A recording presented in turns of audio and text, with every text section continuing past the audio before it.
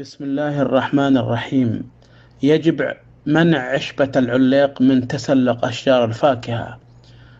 من الأعشاب الخطيرة جدا ويعتبر نبات معمر بذوره متطايرة ذي جذور زاحفة وساق منتصبة رفيعة.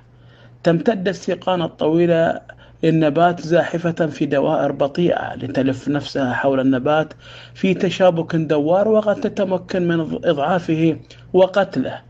لشدة منافستها لأشجار الفاكهة على الماء والمواد الغذائية والضوء أو المكان نفسه. إضافة إلى أنها تكون عائلا لكثير من الأمراض الفطرية والآفات الحشرية. طرق المكافحة إعداد الأرض بطريقة جيدة وتنقية الحشائش والتخلص منها بحرقها وإجراء عمليات العزيق أو النقاوة اليدوية. وفي حالة انتشار عشبة العليق بأعداد كبيرة تجرى مقاومتها باستخدام مبيدات الحشائش الموصى بها أتمنى لكم الفائدة.